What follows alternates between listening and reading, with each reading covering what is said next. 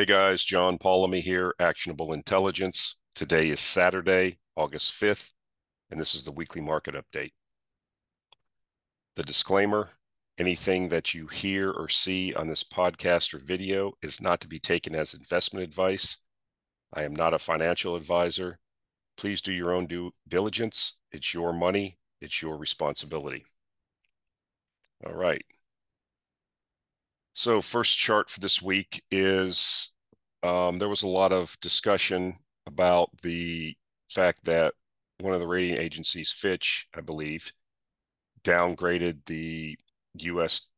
United United States its debt, and uh, I'm actually surprised that this had happened sooner. Uh, but uh, it makes sense inside the context of the deteriorating phys- fiscal conditions of the United States. And quite frankly, the United States, if they had to mark to market all of their liabilities, it's bankrupt country. Um, so I'm not going to get too much into it. I'm just going to, I've talked about this before. It's an inevitability that we are going to have a crisis because of the debts, because of the unfunded liabilities. Um, as I've said before, there's really no leadership that I see. There's no constituency for cutting spending in this country and getting the financial house in order. And we may have already passed the point where uh, anything can be done, even even if the political will existed. You know, I've said this before. I heard this from somebody, and I, I continue to use it when people bring these issues up. Is the fact that uh, whatever is politically possible to do in Washington will not be sufficient to deal with the problem.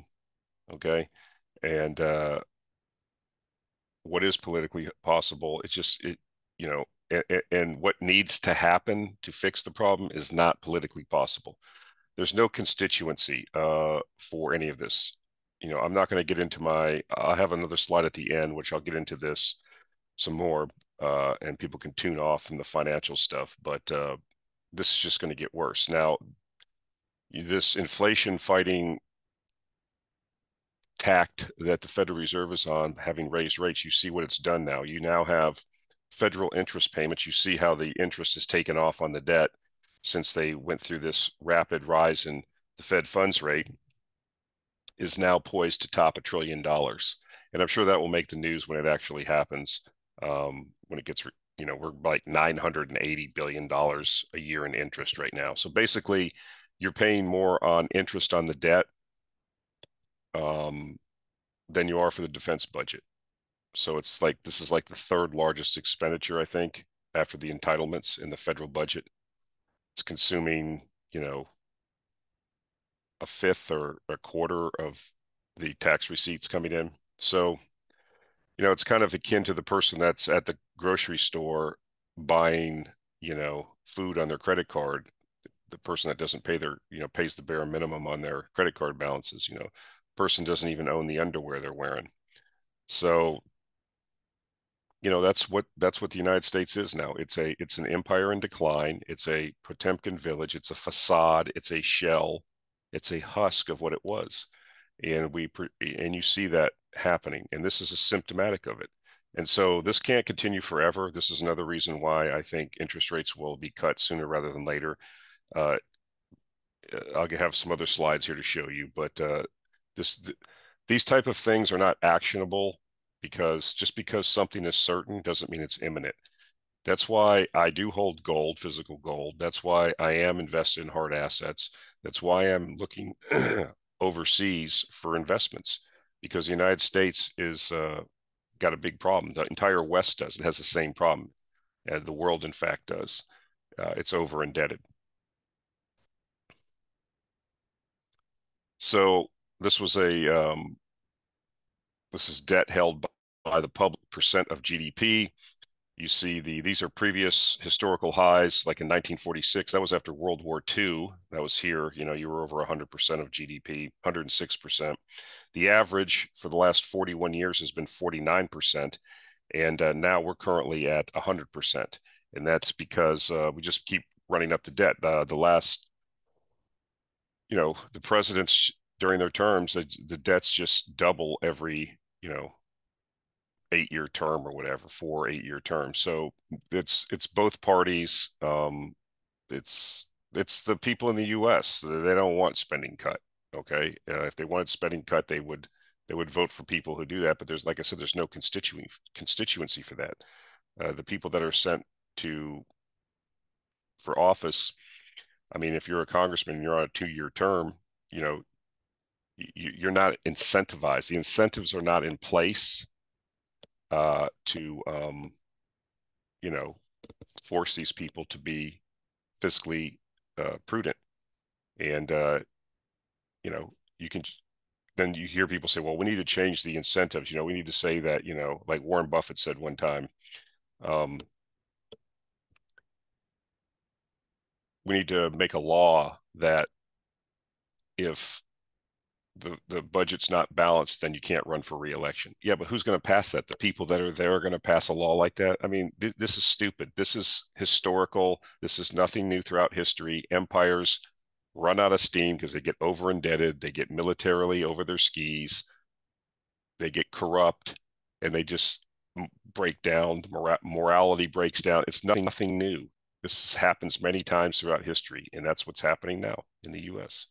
So you're living through it. Is it actionable for a newsletter pick? Not necessarily, but I think there's things that people can do to protect themselves and see what's happening. You know, what what what happens usually with these, as I've said before, is it goes on and it goes on and it goes on until it can't go on anymore. And then all of a sudden a crisis happens. And then you go to bed on a Friday night and you wake up on Saturday, like you've seen in many other countries, and you can't you're in the middle of a crisis and the government's locked down bank accounts and then all the stuff that happens happens. Bank bail-ins like cyprus and all this other stuff. So i don't know what will happen. I don't know the timing. I'm just pointing out that this is not sustainable and uh, you can expect this to get worse not better. And uh, right here say uh, projection projected data. This this is the projections from the us government itself okay and this is where debt's going over time. This is not going to be sustainable. You're not debt's not going to uh, go to these large percentages. The country will i mean it'll, it'll implode well before that. Now it's possible that you know we could have this tremendous ai revolution and productivity increases you know astronomically and all this just goes away because so much wealth is created but i don't think that's what will happen. Um, we're already at above levels of debt. Like, you know, we went into debt in World War II and we were at 106% of GDP. We paid that down over time. Uh, not necessarily paid it down. What they did is they instituted things like yield curve control. You're going to hear start hearing more about that. You're hearing about that in Japan. You're going to hear about that eventually in the U.S. And what that is is uh, keeping the rate of interest below the inflation rate so that you have a negative inflation rate or a negative real yield. And that's basically how they uh, will steal wealth from people to l- lower this number. Now, Russell Napier, if you're interested, is a guy that talks about this quite a bit how yield curve control will be used, how the government will use legislation to force banks and pension funds and insurance companies to buy the government debt at below the inflation rate, and they'll basically just slowly steal uh, wealth. That's that's how that's done. You know, if you have a positive interest rate, real rate, then uh, you know where the interest rate is above the inflation rate, then that's a good thing, right? But that's not uh, going to happen uh, going forward. You're going to have a situation where they hold the, like I said, the the, the Fed will buy sufficient Treasury securities to um, keep the rates below the inflation rate, and uh, slowly over time you erode the, uh, the the value of the debt. And if you, like I said, force, you know, it's very easy. You could pass a law and say, well, you know, the American uh, whatever Rehabilitation Act, and we're going to do this, this, and this. And oh, by the way, people in 401ks, uh, you have all this trillions of dollars of wealth. You need to do your fair share a certain amount percentage of your 401k needs to go into a, a, a government bond fund and you'll be forced to do that they'll force the banks to buy it they'll force pension funds and uh, insurance companies to do it and that that there is precedent for that around the world that's that's not that's not something that's unique okay and you will see more of that You will see that in the U.S. eventually. You will see more QE. You will see uh, us running a higher inflation rate. That's going to get sold to you also. They're going to do whatever they can except for cut spending and live within their means. They're just not going to do that. So this was a tweet. I've talked about this before, uh, but I saw this tweet, so I just wanted to remind you of this: that uh, about 44% of federal debt, that's 15 trillion dollars, by the way, is uh, sub two years duration. That means we got to uh, the, the the Treasury has to roll 15 trillion in federal debt in the next two years.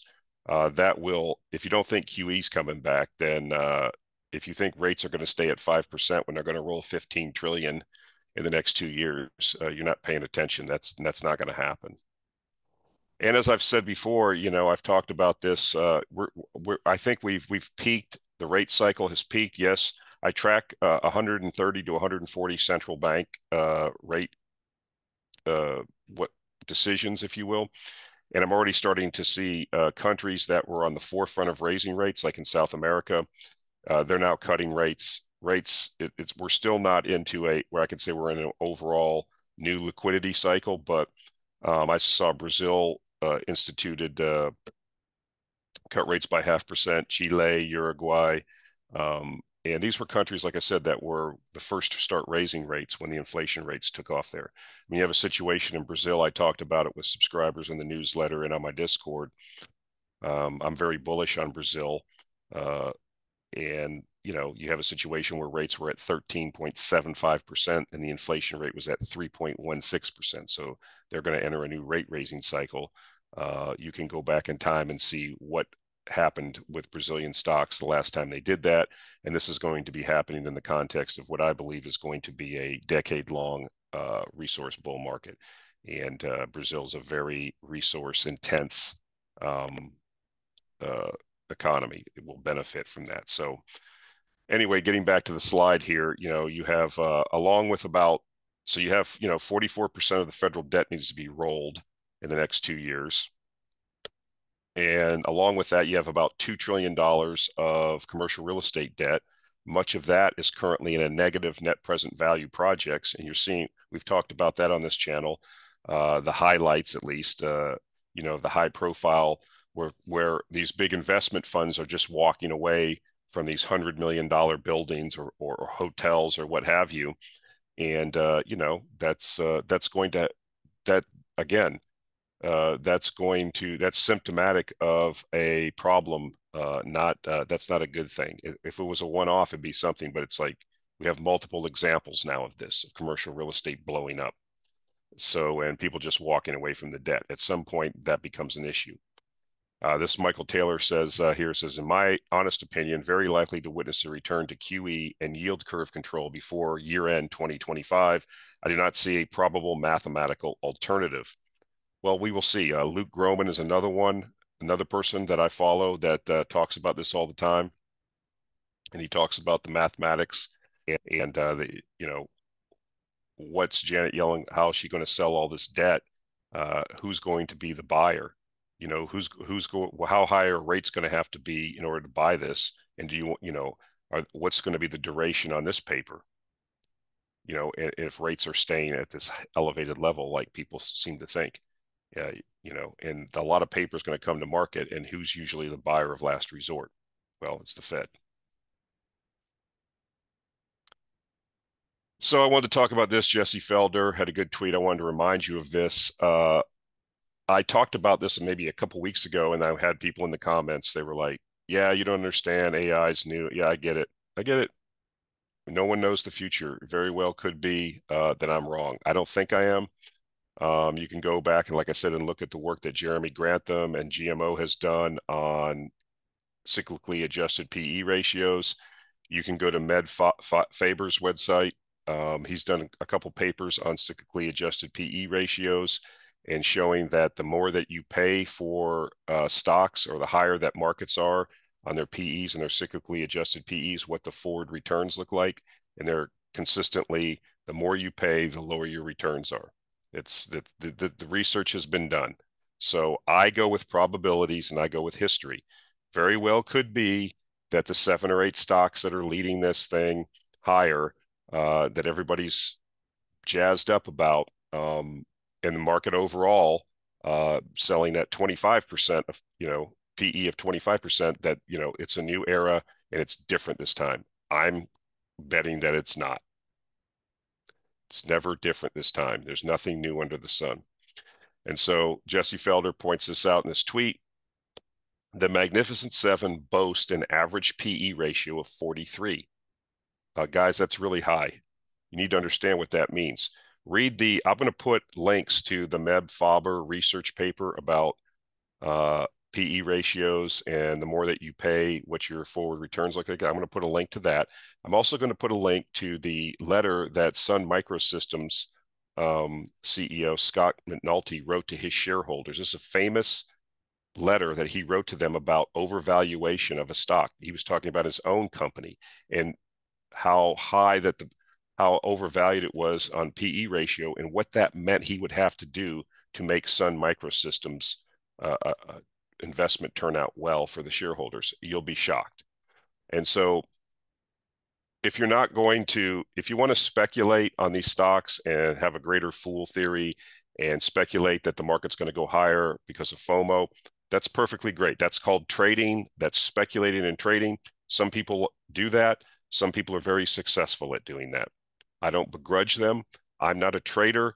I don't, I'm not able to do that. I don't, you know, I try not to uh, buy things with the, with my out being um, that somebody some greater fool is going to come along and pay more than the over the over pay more for an overpriced security.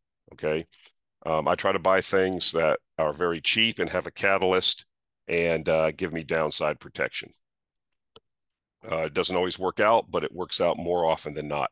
I just don't play in these in these type of arenas and try to trade these things and uh, in and out. And you know, uh, like I said, I will put the um, the links to the two to the Scott McNealy letter to shareholders. This is done during the tech bust, so it's 20 year old letter, but it, it makes the point. And the guy is the CEO writing about his own stock. And you can look up what happened to Sun Microsystems. And you should also read the Meb Faber research paper. It shows what if you pay certain at certain cyclically adjusted PE ratios for markets, what their 10 year forward returns look like. And like I said before, the more you pay, it, it, it's pretty pretty accurate. The more you pay for securities, the lower the lower your return is. Uh, not necessarily for individual securities. Some securities uh, have a growth rate, but when you already have a trillion dollar market cap on some of these things, like Apple, for example, has what I don't know what's couple trillion dollar market cap, and its sales are not growing. And so, what what what are you doing? Why are you buying that? It has a market cap equal to like 8% of the US GDP. Does Apple account for 8% of the US GDP? I don't know. I've talked about this before. It's not going to get through to some people. Some people, like I said, they're just going to ignore it. I wish them well. Okay, so uh, if you've seen, the oil price has been up the last six weeks. It looks like the cuts that OPEC did and some of the um, you know, the, we've seen rig declines in the U.S. Uh, over the last weeks, if you will, and it looks like things are, you know, uh, supply is, you know, getting back into uh, with demand. You know, demand is increasing. It looks like, you know, whether we've pointed this out like over a month ago. Demand worldwide, if you wanted to look at OPEC's projections, the IEA, EIA, they were anywhere from 102 to 104 million barrels of oil this year. Uh, a lot of folks uh, thought that uh, in the second half is when we would see we had a, like a mini glut here at the beginning of the year. We had to get through all that SPR stuff. The Russians pushing a lot of oil into the market. The Iranians uh, getting their uh, seaborne storage uh, discharged. So a lot of oil came into the market in the first half of the year that looks to be reversing now. And so we've had a nice rally over the last six months. Again, I don't know what's going to happen. I'm looking at this from a long term perspective. Um, I've been accused of, uh, you know, being negative on the oil price, uh, but that's not true. Um, I don't know exactly what will happen. I, I had a, you know, my portfolio is probably mostly in energy stocks, uh, one one form or another.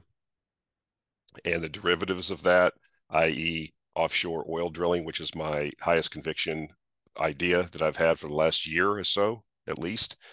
And uh, so I think that uh, those are rocking and rolling, and I think it will continue. I have some uh, junior uh, oil companies. I have an oil company in long life reserve, low cost producer in Canada that's doing very well.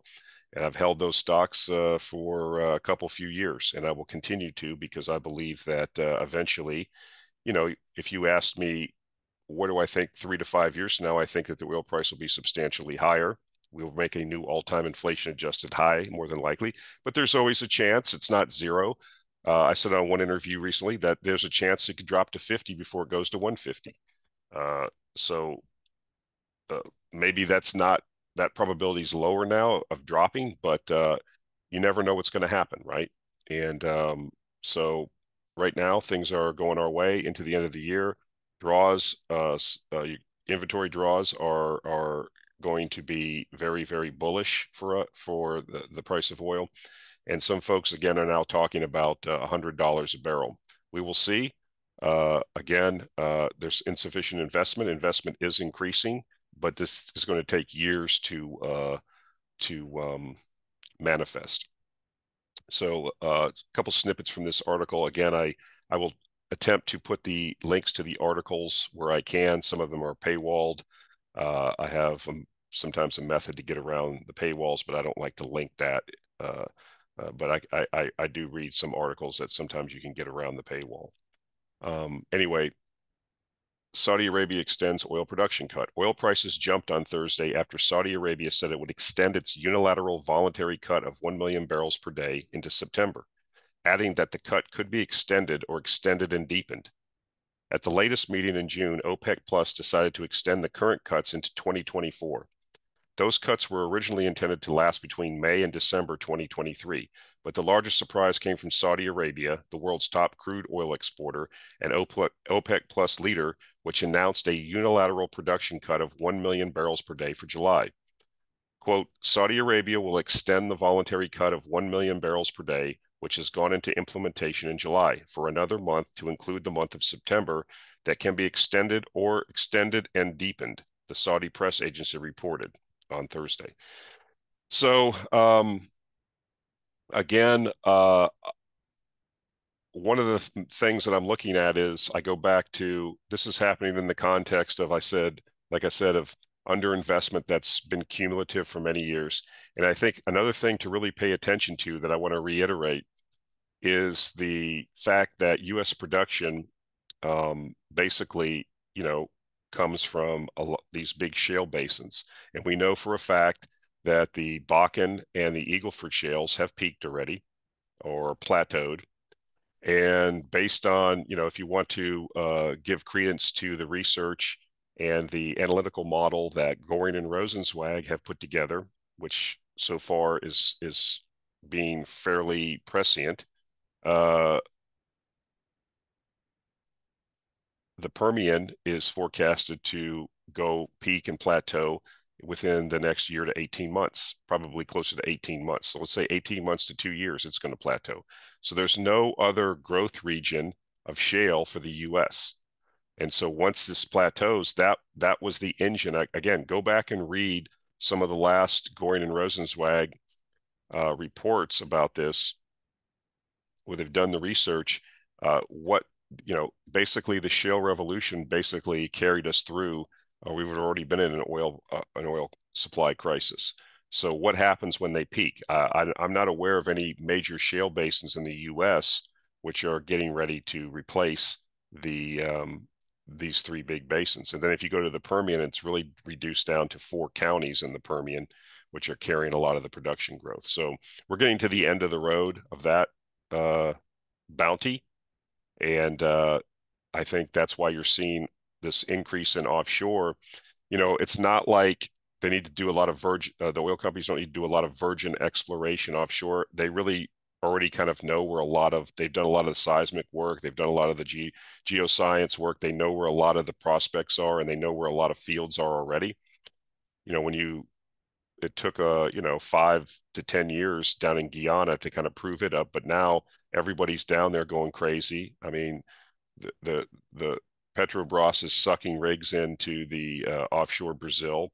Uh, so they a lot of folks know where the oil is. It's just been a reluctance to drill these sites and make the billions of dollars of investment that are needed to develop these resources. Because what was the point if every time that you tried to do that, uh, you know, the oil price would go up and then it would get crushed by a, a surge in shale production. So I think the mindset has changed now and a lot of the oil companies uh, need to replace the reserves, the big oil companies, and so they see offshore, you know, uh, being able to be viable at below below 50 and sometimes well below $50 a barrel.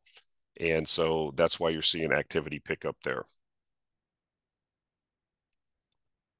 So here's Noble Drilling, another offshore oil drilling company. Some comments from their recent conference call, which I th thought were relevant and apply to the entire industry.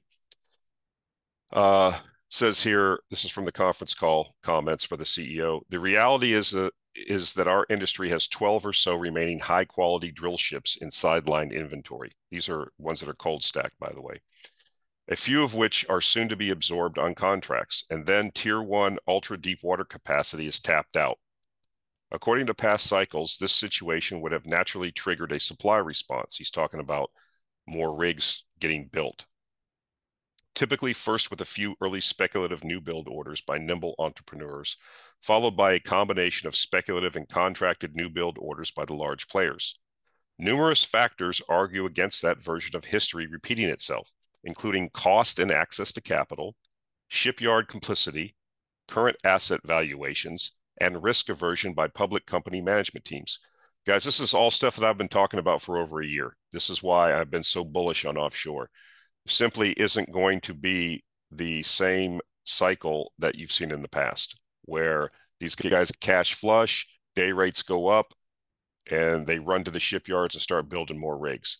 Do I think eventually they will build more rigs? Possibly, but you know, I think even during this conference call, they go through the economics of this. You know, why when you have a valuation of your rigs of around 350 million dollars each are you going to go out and spend 850 million or a billion dollars to build a rig on spec and then you'll need 10 years you'll need that rig contracted for 10 years at uh, minimum $650,000 per day to make it the investment work it's not going to happen going on with the comments. New builds are way off the radar because even without the aforementioned soft constraints, the economics are simply entirely out of the money, just like I just said. Here we go. The current Tier one seventh generation drill ship would likely cost at least 850 million to build and require three years, if not longer, for delivery. Actually, I think it probably a lot of people think that would cost closer to a billion dollars, but we'll go with this.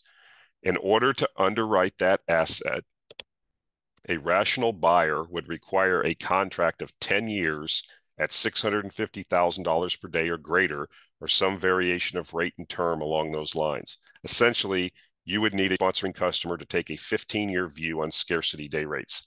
That's just not going to happen right now. The way the current market's set up, the way the animus towards hydrocarbons, we got what we got and day rates are going to go up. Uh, do I think that eventually the zeitgeist will change? Yes. When I think when we have all time new highs in the oil price and gasoline's eight or ten dollars a gallon, I think that the uh, political zeitgeist will change.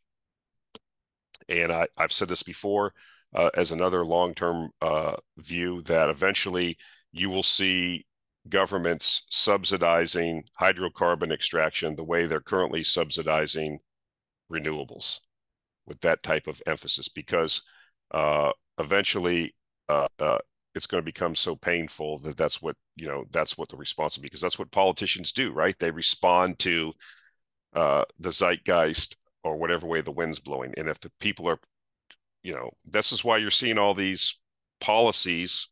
It's a race right? To see if the politicians and government policymakers can get you into 15 minute cities and take your cars away and all this other stuff before the oil price goes to $200 a barrel and they all get swept from office and we go back to rational, you know, rationality. Um, that's my view, at least. You know, I made the same prediction. I said that the Germans will eventually turn their nuclear reactors back on. It's simply going to be, it's simply a math problem, unless you want to be poor. Unless you want to be poor unless your standard of living wants to go down, unless you want to live like people did in the Eastern Bloc during, you know, the 70s and 80s when the deterioration of, you know, uh, socialism and communism in the Eastern Bloc, you know, where everybody's poor, everything's shabby, nothing works. If you want to go back to that, then certainly um, we'll, we can continue on the track. And that's where they want you to be. But I don't think that that's what's going to happen. I think that uh, the zeitgeist is already starting to change and policy, uh, uh you know, like I said before, we've already seen center right and right wing governments come into like a third of the um, a third of the governments in the EU, for example, and you know there's half the population here in the U.S. won't stand for it. So we'll see. Uh, I could be wrong, but um, long story short, we have a window of opportunity here for these drillers, for the uh, service companies that serve offshore. If you listen to all the conference calls like I do, you're just going to see the same kind of um, uh, tempo, same type of tune, same type of uh, reporting. You know that everything's booming. Uh, it's supplies constrained. No one's going out and building anything new because they can't make the economics work, especially in the context of who knows the future, right? People, when you have governments in the West at least trying to get rid of hydrocarbons, and so um, I think that eventually changes, but I think that that's years down the road. And I think you're going to have all time highs in day rates. You know, I think during the last boom in 2014, I think day rates got to 600, 650,000. I think there was a couple signed. I think you, we're going to exceed that and people are going to be shocked. Um, I know one analyst that said that uh, he or person equity private equity man or hedge fund manager that said that uh, he thinks that Val will go to it's a thousand dollar stock eventually. I mean, so take that as you will, but uh, I think uh, this is going to exceed expectations on the upside simply because no one's talking about building anything new. And to affirm that, this is a slide from a Credit Suisse uh, uh, presentation. Um, here's the offshore drilling cycle. This is what has happened in the past and this is why I don't think it's going to repeat. So basically, what you see here is, you know, you have the trough of the market, um, where you have, you know, rig values decline, rigs get stacked, rates approach cash costs. You go into the trough. Then, as you see it, utilize as you start ramping up again activity. You have utilization increases, you know, the percent of rigs getting contracted, then day rate increases. We're seeing that. Term duration increases. We're seeing that. And then typically what you've seen in the past is once these start happening, you start seeing those new build orders, just like the Noble uh, CEO was talking about. And then you have, you know, new build prices increase. None of this is going to happen this time. So where is the peak if none of this happens? If you don't bring new supply, what happens? You know, he talked about those uh, drill ships that are stacked, you know, a couple more I think are being brought out of uh, cold stack, and the drilling companies have so much leverage over the oil companies now. The oil companies have to pay for the refurbishment and the prepar- preparatory work and the um, you know get that thing out of out of cold iron into preparing it to work. And those that's 40 50 million dollars right or more. And so I think you have to go through those, and then how many of those drill ships are actually viable to bring back? I mean, I just don't know the answer to that. But regardless, I mean, you see, if you listen to the calls, you'll see like utilization rates in the Gulf. I mean, all over the world are basically 90%, well above 90, 95%, in some areas 100%, where the rigs that are available are all contracted. So, you know, what happens if there's no new builds? Well, I mean, the sky's the limit, right? So we'll see. Uh, this was an article that was interesting. Emphasis on shareholder returns coming to an end? Question mark. Why? Uh, what's the question here? Well, big oil, you know, has underinvested and had the focus on debt reduction and shareholder returns, and that has led to less reserves, right? And this is an extractive industry, and so that every barrel that you pump out, if you don't replace it, then you're eventually going to go out of business. So um, what will we see? Will we see starting to see a shift from a focus on, you know, a lot of debt has been reduced, which is good, Now are we going to see another capital cycle? Again, this would feed into offshore and other areas of um, oil field services, which are were completely decimated. And we have an industry that's you know quite smaller than it was at its peak. And so, will it be able to handle all of the investment that possibly could come its way? Probably not. Snippets from the article. Big Oil's combined production was just 11.6 million barrels equivalent per day in the second quarter, the lowest in at least 15 years and more than 20% below the peak in 2010, according to Bloomberg Intelligence. Chevron disappointed analysts by guiding toward the low end of its targeted production range for this year. Shell and BP anticipate output will largely be flat through 2030, even after ramping up spending on fossil fuels. And ExxonMobil volumes are hovering near the lowest in two decades, with new projects offsetting declines elsewhere. While high shareholder returns are appreciated in the short term, oil and gas stocks still command a big valuation discount relative to other sectors on concerns these payouts won't be sustainable, won't be a sustainable long term as many nations push to phase out fossil fuels. Uh, well, we'll see about that, but I think they got this wrong. It's always, you know, the media always steers it to the end of fossil fuels, blah, blah, blah um, again, th- this is why you have the opportunity, right? Because uh, that's I don't pull out of this that they're yeah people don't like these companies uh, because of hydrocarbons. Some people don't, but smart people uh, do. There's a guy I think he's in the Czech Republic. He became a billionaire by going around and buying up all these different coal mines and coal companies that nobody wanted and coal's not going away. And he he ended up becoming a millionaire. I forget the guy's name, but uh, uh, yeah, I read an article about him. And does he, does he care? Uh, uh, you know, it's like again, I go back to what Soros said. What we're trying to do here, one of the things we're trying to do here is determine the the view that's incorrect and bet against it. If anybody you can get rid of fossil fuels, but you will have you know, I've said this before. You want to get rid of fossil fuels? How many people do you want to di- kill? How many people are you comfortable with dying? Because that's what will happen. Uh, these people that advocate for this, they don't really know what they're talking about. They don't understand thermodynamics. They don't understand energy. They don't understand anything. They're just useful idiots. Okay. They live in a dream world, in a fantasy world.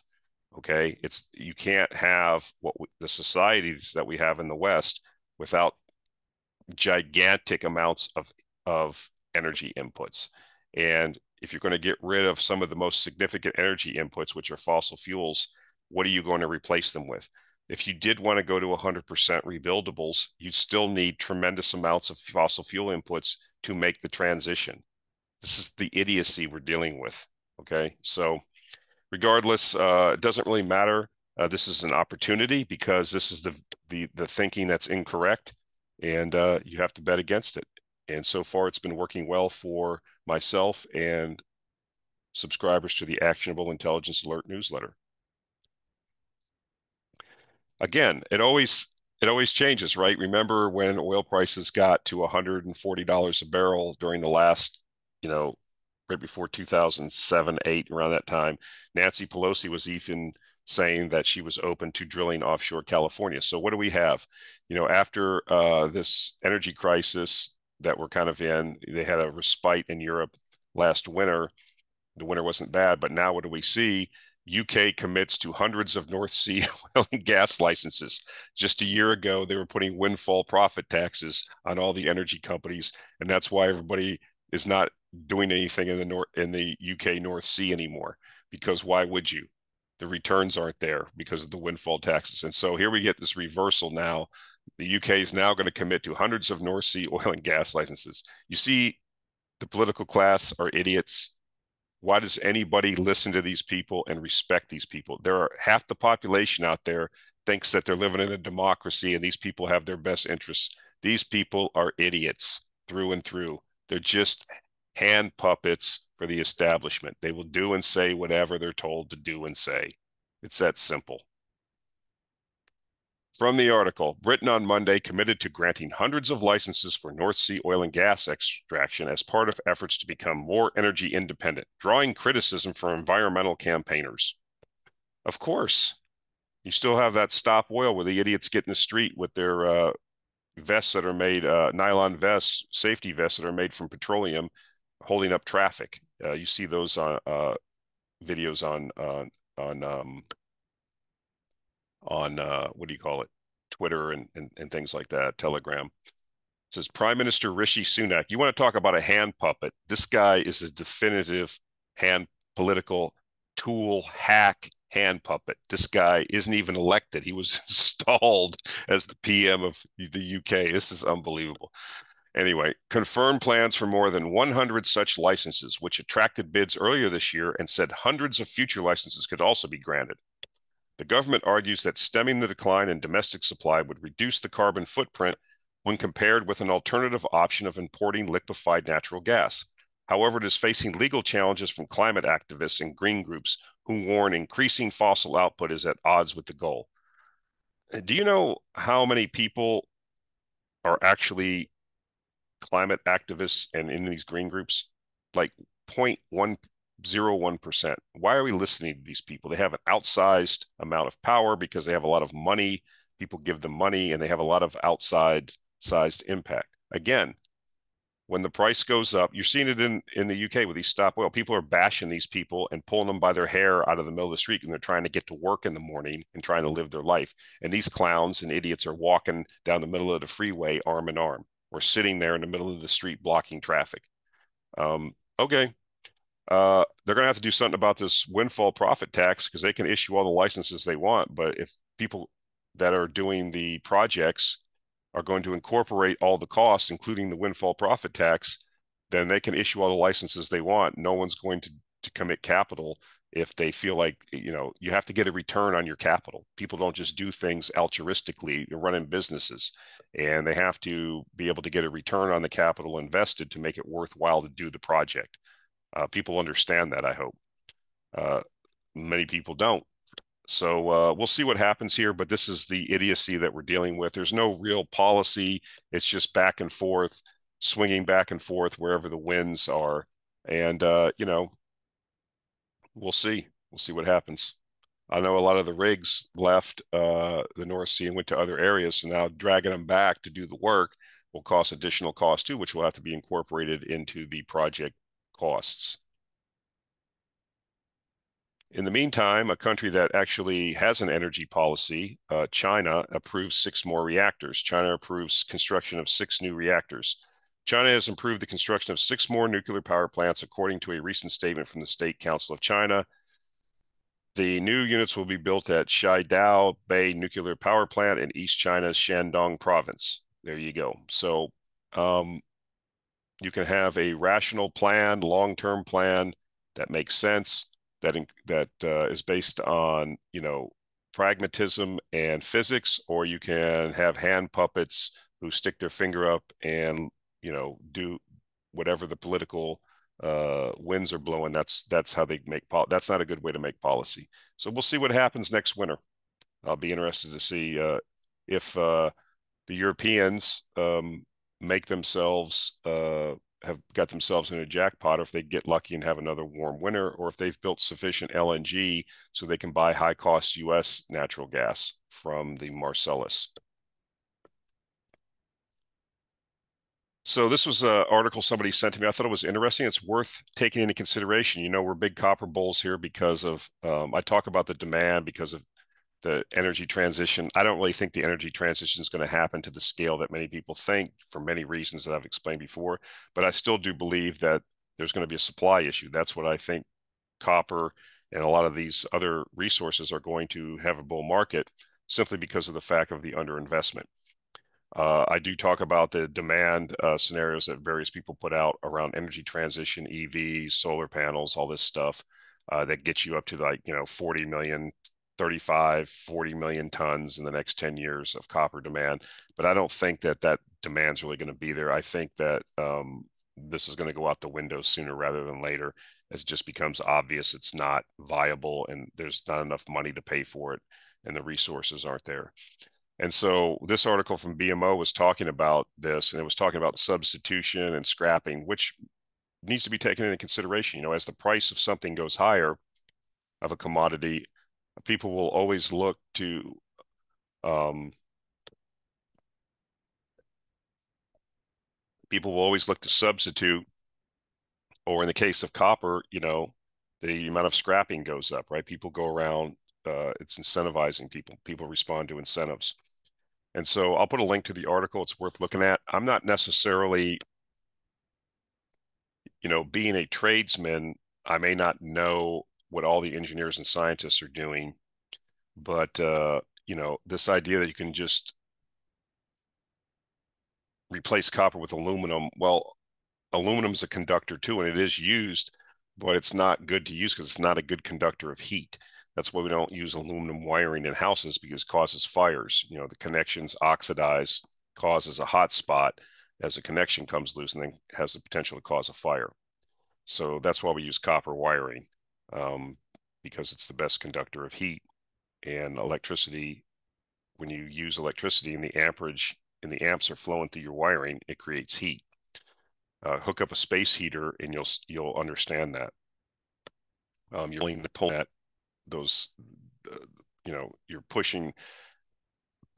If you're running, you have a 15 amp breaker and you're running 14 amps, you're going to have some heat there in that wiring. And if you have if you have copper, it's able to dissipate it if and deal with it. If you have aluminum, it's not the best for that. That's why we don't use that.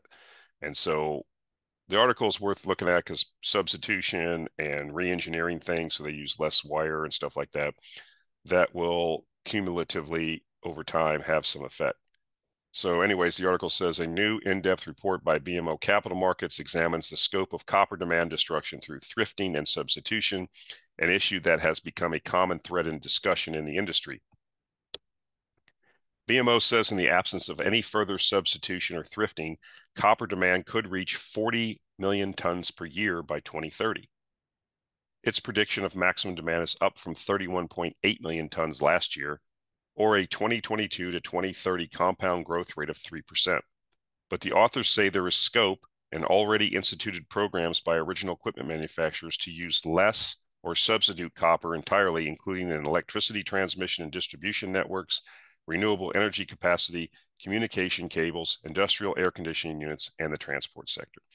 So take a look at it uh, if you are interested in copper. I still think that the investments being made are insufficient. I reported last week, for example, that Codelco, who's the largest copper producer in the world in Chile, their production was down 17% year over year.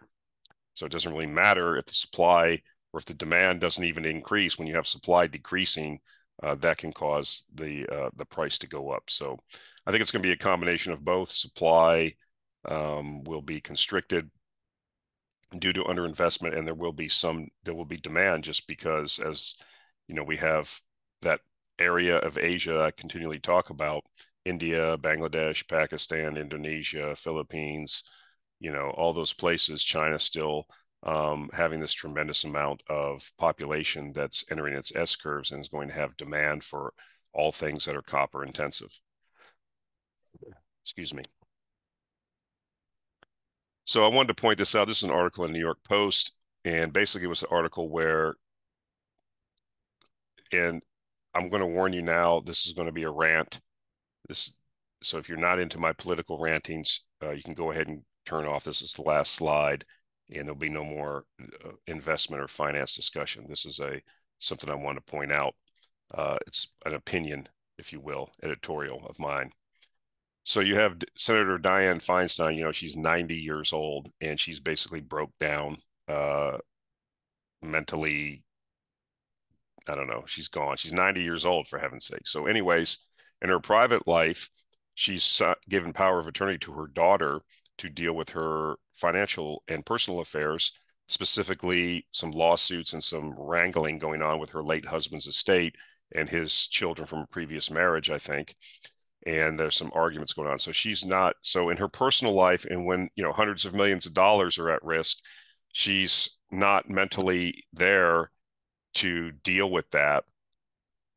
Um, so she's turned over to her daughter. That's a fact. That's what they reported. Um, but for some reason she's mentally capable to continue serving in the Senate. What's more mentally taxing or as mentally taxing? You're making policy, you're dealing, you're on committees, you're being wheeled around in a wheelchair. She looks like the crypt keeper I mean, the woman's 90 years old. I'm not picking on her. When you're 90, you're 90. I mean, you're at the end and your mental faculties decrease. And, uh, you know, it's just probably you shouldn't be in the US Senate making decisions or trying to do this. So, what's going on here? Narcissism, power, just trying to hold on to power, uh, whatever, you know. So, um, here's from the article in the New York Post says California Senator Dianne Feinstein has relinquished power of attorney to her daughter even as she continues to serve in Congress at the age of 90. The Democratic senator, who is the oldest member of Congress, has faced calls to resign after health complications kept her away from the Capitol for months earlier this year. Feinstein handed over power of attorney to her daughter, 66 year old Katherine Feinstein, in part to help handle legal battles over her late husband, Richard Blum's estate, the New York Times reported on Thursday. So, again, you know, this isn't the only instance. You have this uh, babbling, brainless idiot Fetterman that the people of Pennsylvania elected. He's mentally incompetent. He can't put complete sentences together. He's serving.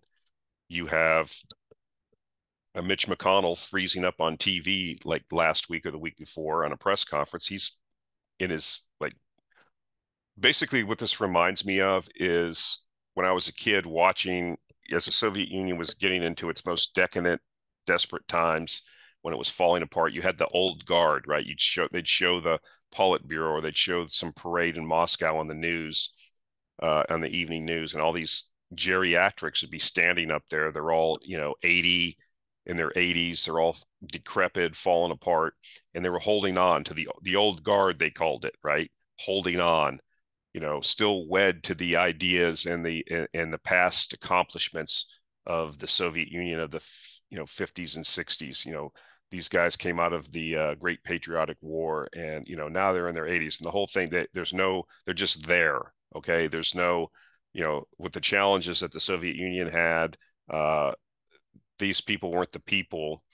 Uh, the point I'm making here is these people weren't the people that were going to be able to continue and make the reforms necessary because they just are decrepit, broke down, and not mentally competent. There was a period there where I think you had you went through you know after Brezhnev died, you had succession of Soviet leaders that were just there for like sometimes a year or less. I mean, Chernenko and Andropov, all these guys, they would get they would become the new premier, then they would die. They were already sick uh, or who knows what. And so you just had this whole state apparatus trying to hold up the old the old way of doing things. And that's what we have here in the U.S. I mean, we have this we have this Fetterman, we have this McConnell, we have this uh, Feinstein, we have all these decrepit.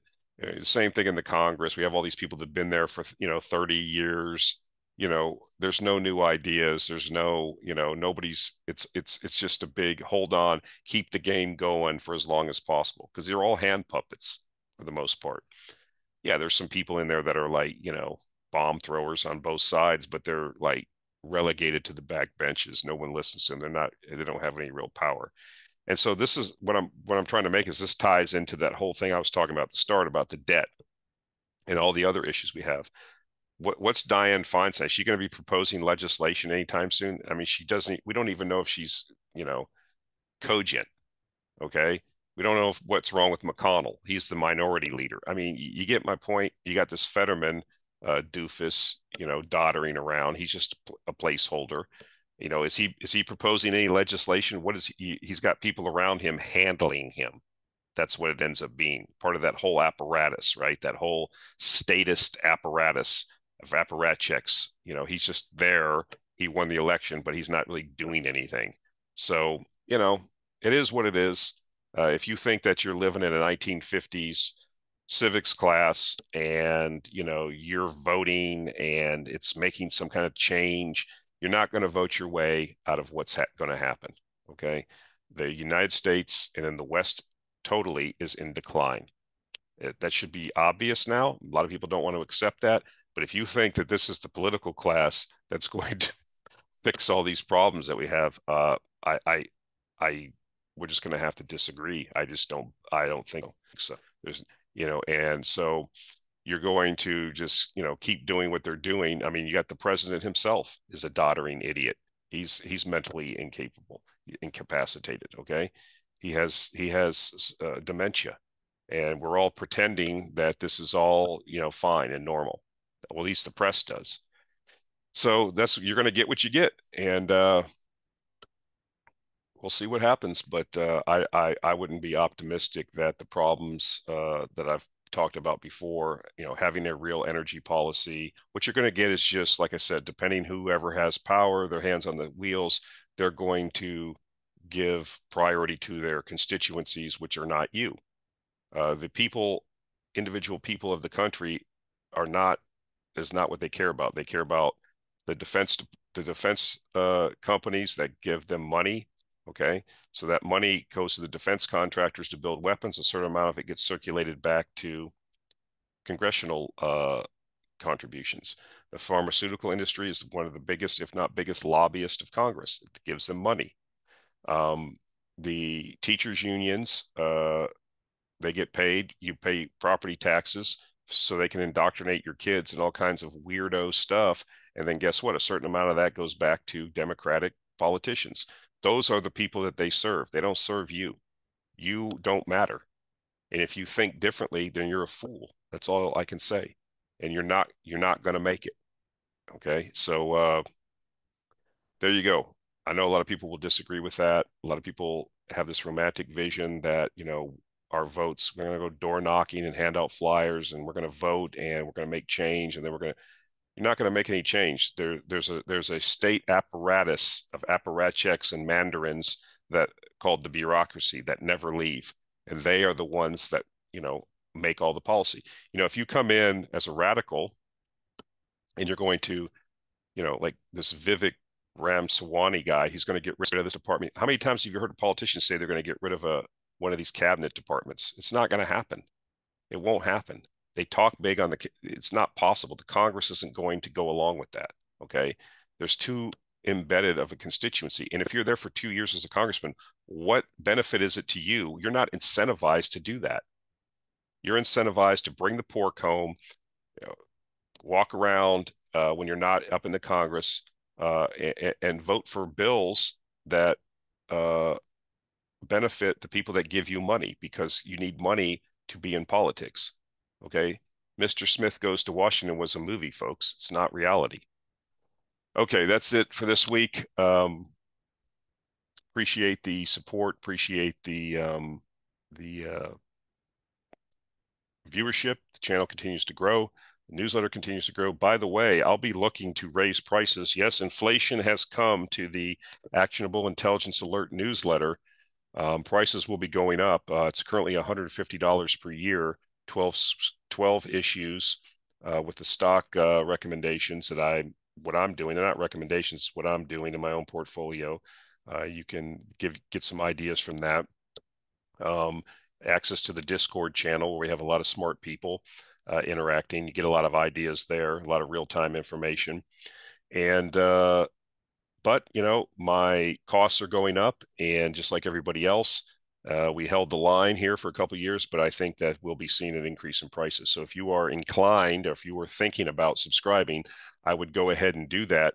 I will say that current subscribers will be grandfathered in under the uh, under the current pricing regime as they were. I have founders that were founding uh, my first subscribers that are still paying $79 a year. Uh, and then we raised prices to 150 a year and uh, those people will be grandfathered in too. So uh, new subscribers will be looking at a price increase probably in the next month or so. So uh, look for that. So if you are interested, uh, avail yourself of a s- subscription now and lock in that $150 uh, uh, a year price. Okay, guys, that's it for this week. We'll talk to you next week. Thank you.